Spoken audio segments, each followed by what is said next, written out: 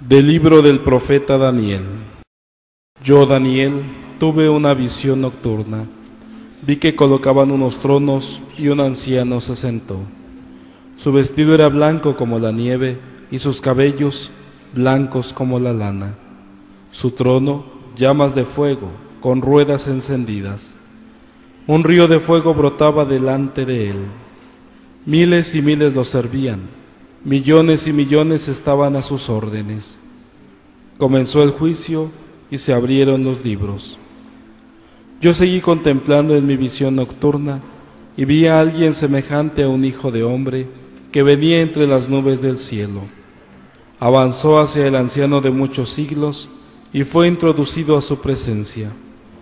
Entonces recibió la soberanía, la gloria y el reino, y todos los pueblos y naciones de todas las lenguas lo servían. Su poder nunca se acabará, porque es un poder eterno, y su reino jamás será destruido. El Señor reina, altísimo sobre la tierra. El Señor reina, la tierra goza, se alegran las islas innumerables. Tiniebla y nube lo rodean, justicia y derecho sostienen su trono. El Señor reina, altísimo sobre la tierra. Los montes se derriten como cera ante el dueño de toda la tierra. Los cielos pregonan su justicia, y todos los pueblos contemplan su gloria. El Señor reina, altísimo sobre la tierra. Porque tú eres Señor altísimo sobre toda la tierra, encumbrado sobre todos los dioses. El Señor reina, altísimo sobre la tierra. De la segunda carta del apóstol San Pedro. Hermanos, cuando les anunciamos la venida gloriosa y llena de poder de nuestro Señor Jesucristo, no lo hicimos fundados en fábulas hechas con astucia, sino por haberlo visto con nuestros propios ojos en toda su grandeza. En efecto, Dios lo llenó de gloria y honor cuando la sublime voz del Padre resonó sobre él, diciendo, Este es mi Hijo amado, en quien yo me complazco. Y nosotros escuchamos esta voz venida del cielo, mientras estábamos con el Señor en el Monte Santo.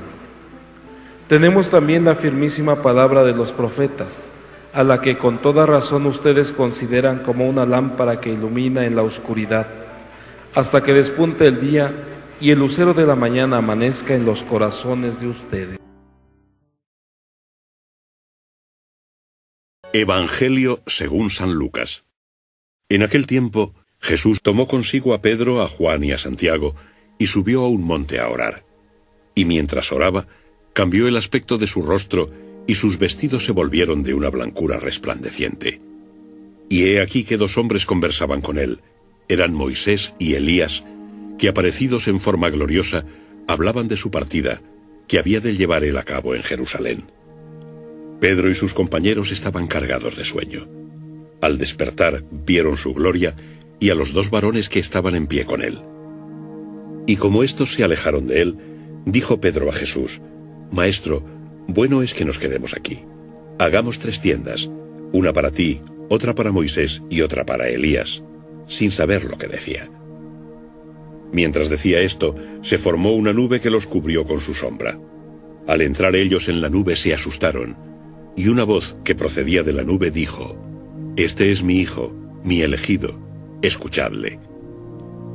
Mientras sonaba la voz, Jesús se encontraba solo. Ellos callaron y a nadie contaron por entonces nada de lo que habían visto.